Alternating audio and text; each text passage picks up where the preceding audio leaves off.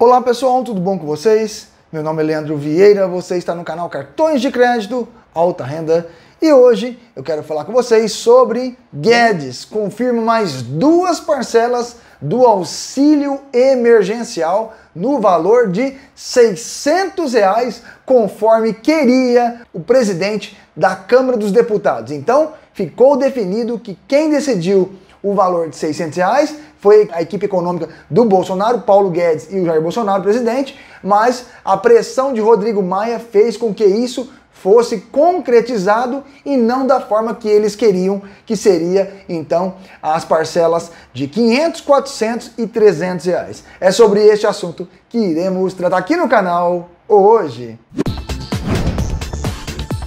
Opa, Leandro, tudo bom? Pessoal aí do Cartões de Crédito Alta Renda. Vim agradecer principalmente aí as dicas do canal é, e também especial ao Leandro Vieira, que essa semana, na segunda-feira, já foi contemplado aí com o Elon Nankin Diners Club, chegou para mim. Muito obrigado aí, viu? Abraço.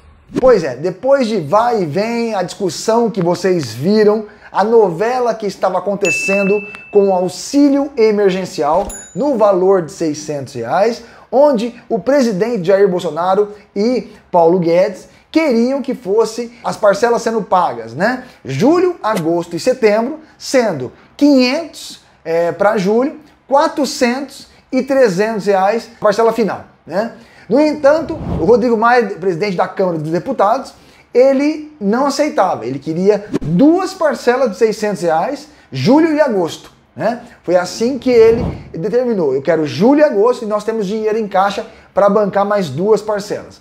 Pois bem, hoje a CNN divulgou essa nota. Eu não vou colocar o vídeo da CNN, mas nesse link que eu vou deixar embaixo do vídeo, tem aí a confirmação para vocês. Vamos a ela então.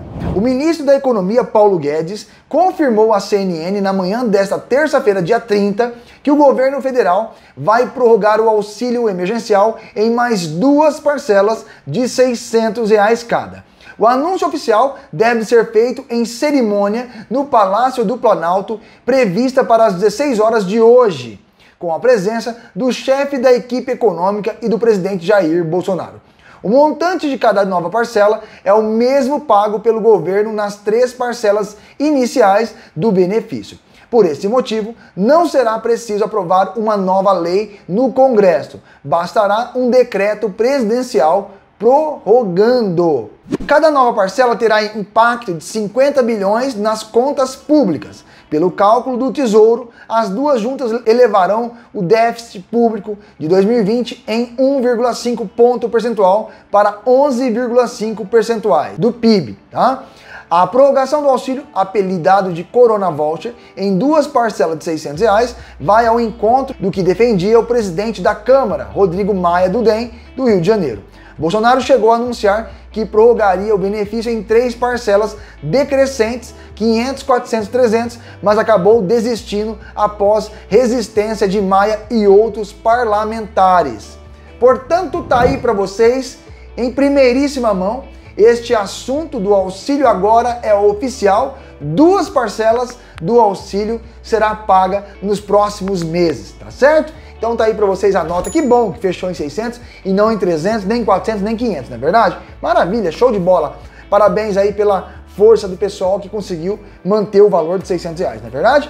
Pessoal, eu espero que vocês tenham gostado desse vídeo dentro do nosso quadro. E agora, Leandro, no nosso canal Cartões de Crédito Alta Renda. Até o próximo vídeo. Fique com Deus.